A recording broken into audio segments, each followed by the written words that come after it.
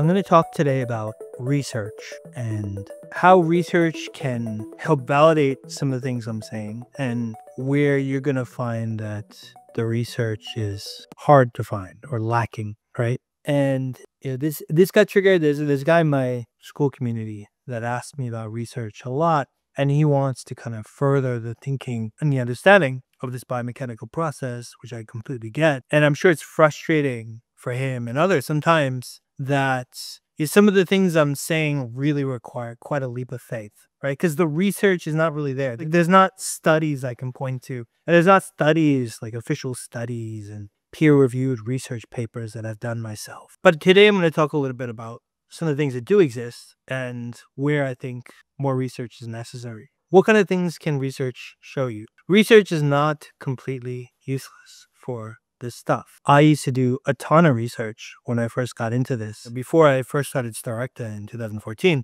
I would research and Google every night until I fell asleep for several hours because I was in a very extreme situation where I needed to find the answer. Otherwise, we were going to have to, you know, I was going to have to quit my job. So I couldn't retain information. I was spending an absolute ton of time on sites like PubMed reading about, you know, dental and TMJ journals, right? And there's a lot of interesting stuff. And I, I would continue to kind of visit these, some of these reports in the, in the years following. And some of the things that you'll find, like I remember reading papers about vertical height. There's quite a bit of research has been done, like adding vertical height um, with splints and flat plane splints. You have, you know, research that Dr. Brendan Stack and Theundren Lee have done, and they've created some YouTube videos. I remember watching, you know, reading about this one guy who was wearing like some kind of like a flat plane splint and adding a lot of vertical and how you know, all these different things corrected on him and that was always something that stuck in the back of my mind in the past years. The other thing that you'll find is on kids, they've been doing these molar buildups, which are essentially like flat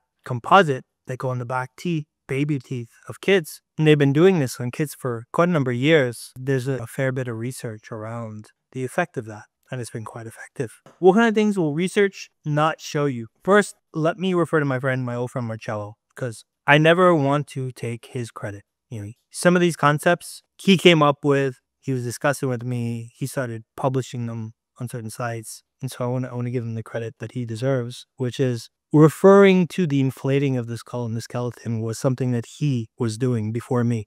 Right. And it was based on, I guess, some of his own experiments. And I'd, you know, I was seeing some similar things, but I wasn't thinking about it in that way. And he would often talk about how you're fixing the problem by inflating the skull and the cranial bones start to cut back into place and this is this is one thing where i think he was looking at some research but he, a lot of it came from his own kind of like way of thinking another one was this whole curve of Spee. So curve of Spee is a dental concept that's probably you know from the late 1800s. I don't think that a lot of research will use the word and its importance the way I do. But again, this is Marcello back in the day, probably in the 16, 17, starting to put together the pieces around this curve of Spee and its importance, especially given that me and his specific situation was that we had our teeth drilled and therefore like the curve of Spee was flattened and we saw the direct impact of that. The curve of Spee helped us understand what was going on. And then I, in hearing him talk about it, I later validated it with some of my own experiments back at like 17 and 16. And another one that he came up with was the jaw being supported in multiple bite positions or the lingual bite. And he was talking a lot about the Gerber lingualized bite and had read a bunch of research. And this is something he was talking about a lot in various Facebook groups. And it kind of explained why he and then I were not getting the results that we wanted with Starecta at the time.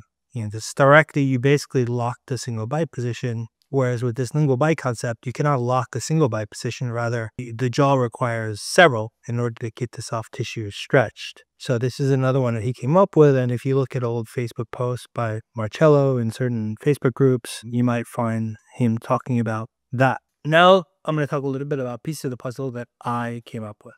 So these are things that you probably won't find in research because they were my own conclusions based on my experiments with myself. One is that there's two rules to how the skull inflates. One is adding vertical height. The second one is unlocking occlusion, right? These are things that I cannot point to someone that I specifically took that from. There were things that I concluded based on logic, based on my experiments, right? And they were different from, for example, the way Marcello thought, because he thought you had to have these multiple locking jaw positions. And then I found that if you just added height, you could actually make it a completely flat contact and you're going to improve just the same or even faster. Another one is that all you needed to improve was essentially this mouth guard, right? Nobody was really saying you were going to fix TMJ and you were going to, you know, reverse the aging process and all these things with a mouth guard, right? Even Marcello. I, I think the closest thing was Dr. Youngjin Lee, who was using the similar sort of mouth guard on neurological patients. But I realized through my own experience that it really was that simple. Like a simple mouth guard was all you needed to start reversing all these really damaging things.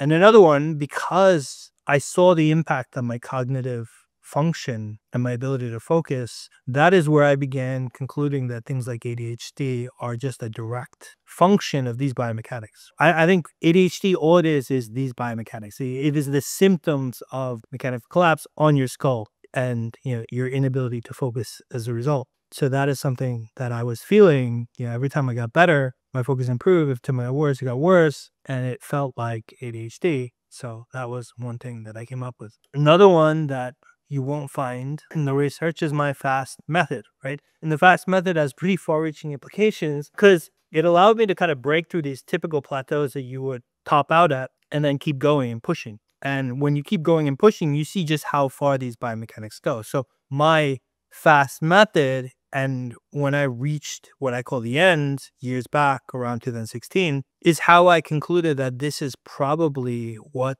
you know, this stuff is aging and that if you reverse it, you're reversing the aging process, and that this stuff is probably the root cause of almost all disease. This, this stuff I only concluded because I saw how far you can push these biomechanics. Those are the things that, if you look them up, you're not going to find much because it came out of my head. They came out of my own experiments and logical conclusions, right? And so the only place you're going to find it written in that way is probably in my, you know, Substack and my previous social media posts to wrap up, I think it's important. A lot more research is going to come in the coming years. I've done a bit of research myself, and it was part of how I laid some of the initial thinking. Marcello played a very important, influential role on me putting together this puzzle, and he put together a very important piece of it. And then I added, in my view, to that puzzle by putting together some other pieces based on my own experiments and iterations. And therefore, some of those things that me and Marcello were coming up with are you're not going to find like a lot of research on. What I would say is that a lot of how this works and why it works is still a bit of a black box. Like I know that it does work. I know how far I'm pretty sure it goes. I don't know all the nuances of how it works. Like what actually happens to your body? Why does the soft tissue rip? Like what's actually happening to the skeleton? These are things that I think, you know, people that are passionate about this stuff in the years ahead are going to fill in the gaps. And uh, I'm really excited for those people to do that and to understand what's been happening to my body in a lot more depth. Because the thing that I've concluded is it's just extremely complex. Like I it, it hasn't been anything that I could predict. There's nothing that somebody's written out there that I think accurately reflects the process that I've gone through. And the way I describe is, you know, everything that happens to your body and your body like impacts everything else. Like it's all part of the same fabric. And I think in, in the years ahead, that mystery is going to start to unravel little by little. And I'm excited for that. Thank you.